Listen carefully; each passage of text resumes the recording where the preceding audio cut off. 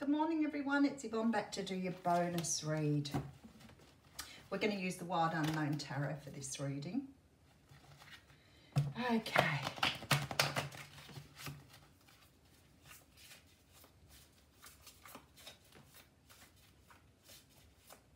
feel so pumped this morning I could run a marathon. I just have to use the treadmill though because I can't get out anywhere today. So that treadmill it is. Oh dear.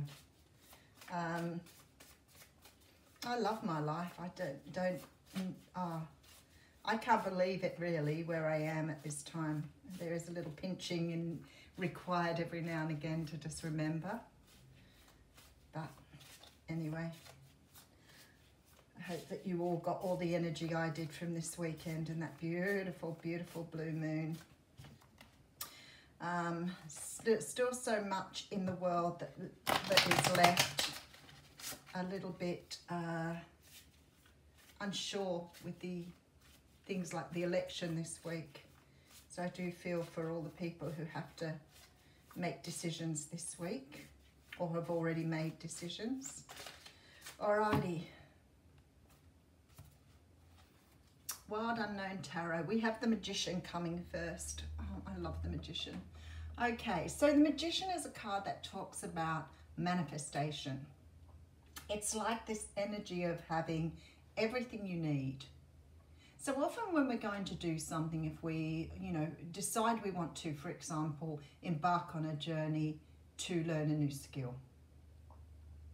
And we hold ourselves back because we think, well, okay, can I do this? Do I have what it takes? you know, a lot of people stop there because they don't have the confidence or self-esteem to go forward. Other people will stop because they don't feel that they have the physical tools to go forward. But other people will plot and plan to get to where they're not going. And that is the energy of the magician. You have everything you need to accomplish whatever you want. You just have to decide what steps you might need to take there but then for a lot of you, you can just jump in and go for it because actually you're probably a lot more skilled than what you realize you are. Not saying that you can go from, you know, being here to becoming an astronaut. And I always use astronaut as my as my go-to place because not all of us can get from here to an astronaut, but there are lots of other things we can put in, into play. And the magician talks about being able to manifest because you already have everything you need. So we're in manifestation mode. Okay, so we have the Four of Wands coming through. The Four of Wands talks of stability. It is the card of marriage and long-term commitment. It is the card of the twin flame. Um, it's very much this energy of finding some sort of stability or something that you have that you didn't realize was already within you. You might have been looking for things on the outside of you. You may have been looking to how you could improve. You could have been looking for things you needed to bring in. But the universe is saying is what you actually want is within you here with the magician. You already have what you need. You just got to find it here or recognize it maybe. All right, so we have the three of wands. So now we're completely future focused. We're not looking at the past. We're seeing the path ahead. We're now waiting for our ships to come in. This is standing on the edge of a cliff, waiting for things to come your way. Because you've already told the universe here what you want. So you've manifested something here. And I'm sort of excited because I'm like, what is coming your way? Love. Um, okay, so we had this in the What's Cracking reading as well. Almost exactly the same sort of energy.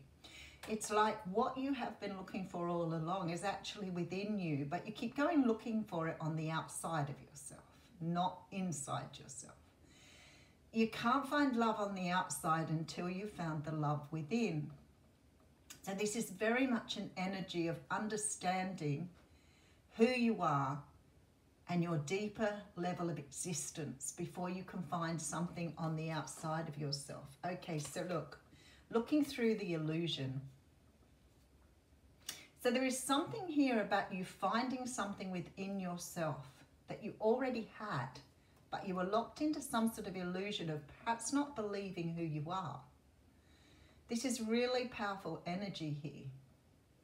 because now you've sort of peeled back the curtain, as I always say. Now that you've removed the veil, now that you've taken off the mask, you can see that you're pure love.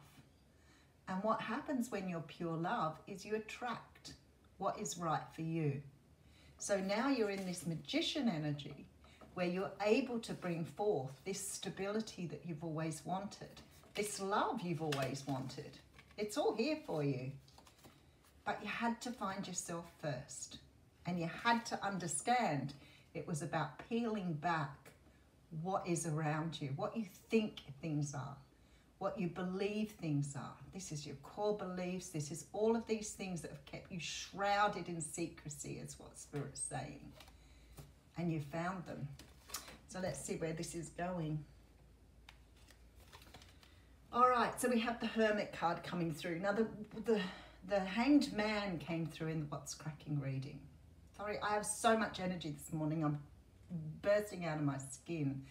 The Hermit card it talks the same. It's a similar energy to the hanged man, but very different in some ways.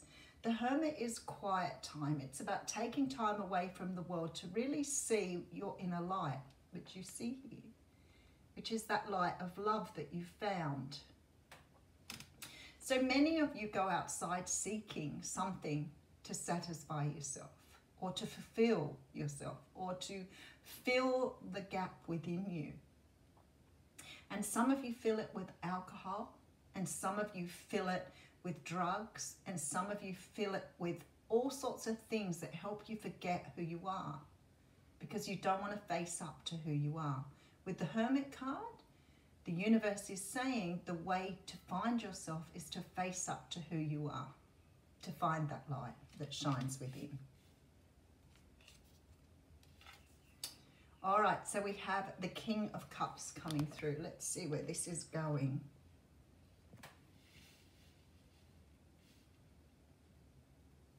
I still haven't moved my camera. Okay, so we have the Chariot card coming through. Strong Cancer energy here. And we have Virgo energy here. Virgo, oh, and then we have the King of Pentacles coming through. Earth signs. So we have strong Cancer, strong Virgo energy here. If we take the Cancer and the Virgo energy, we're talking about very practical but very emotional ways of feeling. The King of Pentacles is often the card of the husband. Um, that's the way he comes through for many of us there seems to be some energy of somebody coming towards you here who perhaps has found their own inner light. Whoever this person is, they're moving very quickly with this chariot card. They're taking charge. They're coming forward after doing a lot of energetic work on themselves. So I feel like this may not just be the energy you're feeling. You may have activated and energy in someone else as well by doing your own healing. So if you're already in some sort of uh, um, commitment, uh, relationship with someone here, and this could be also in regard to other people around you, if you are like healing your own energy, you heal the karmic patterns of those who've gone before and those to come. So there's a definite feeling that you are really getting into this energy of understanding how you heal others here. You've healed someone else because they're coming forward here. All right, three of pentacles coming through. Wow, with the justice card. Okay, seven of pentacles. You've manifested something here that's part of your karmic journey. You're manifesting things to come towards you here. And I feel like some of you are manifesting a person, a situation. May not be a person you know. It may be the love you wanted here because somebody who's very open and loving is coming towards you here. Someone who's, who's been karmically bound to you or is karmically bound to you here. Something that you've manifested. You've manifested as that magician here. Somebody is either manifesting you here or you are manifesting someone in. Let's just keep going. Very strong. Whoa, we have the world card. A lot of major arcanas here, by the way. And we have another king coming in, the king of wands. Someone has here changed their energy as well. So there is some sort of karmic event here. There's some sort of energy here of healing yourself and you've healed someone else in the process or you've taken somebody on a journey with you. I'm not sure that you're responsible for their healing so much as this person was meant to um, heal with you or heal alongside you here. Whoever this person is, they are coming up as the King of Wands. The King of Wands can be Leo, Sag or Aries. You've possibly got a water sign here who's got a lot of um, a lot of fire in their chart and maybe some Virgo energy. I could predict your person's chart here. I don't even know that much about astrology. Um, there is some sort of cycle now that needs to be closed out. So because two people have come together here and they've both been on the same journey and there's this karmic energy the karmic energy needs to be it's like the end of that karmic cycle something here needs to be put to bed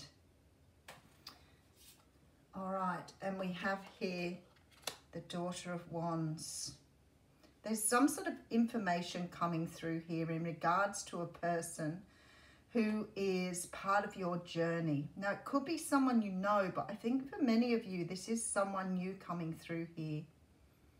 Um, but this person is coming towards you because of the energy you're now putting out to the universe.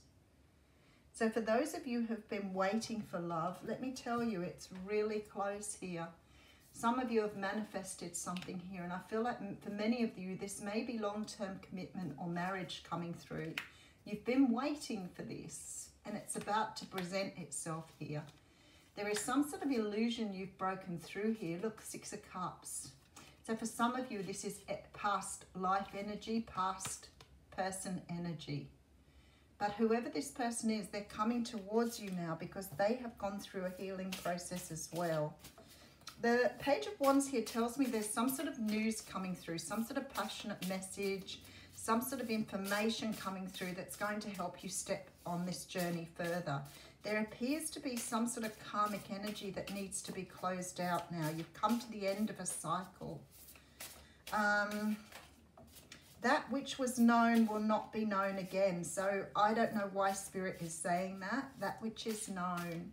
So something about this situation, this person, where you've come from is done. You've done what you needed to do. I want to say good work because I feel that's what Spirit is saying here. Oh, I want me to pull two here. Okay, so we have Temperance and the Moon card coming through. There is a lot of major arcanas in this reading. The Temperance card talks of divine timing. It talks about balance, things coming together. The moon talks about secrets, things yet unknown. But I feel like for some of you, this is the energy that came through in the last few days with the full moon. I feel like you know something is happening here. You know, you feel. You feel something happening here. Something is changing very, very quickly. All right, let's have a look at what we've got. We're going for a Moonology card this morning. I actually feel like I want to draw one of these cards today. All right, and you know I can't shuffle these cards, so I have to sort of close my eyes and just sort of grapple whatever comes my way. oh, how funny, I just realised I've got butterflies on my t-shirt. Um, so I, I didn't even think about that when I put it on this morning, but it's the energy of rebirth, isn't it?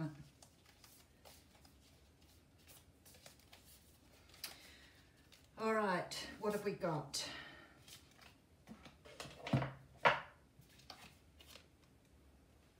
Okay.